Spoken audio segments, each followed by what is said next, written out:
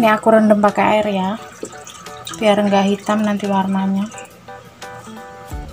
Sambil nunggu kacang hijaunya mendidih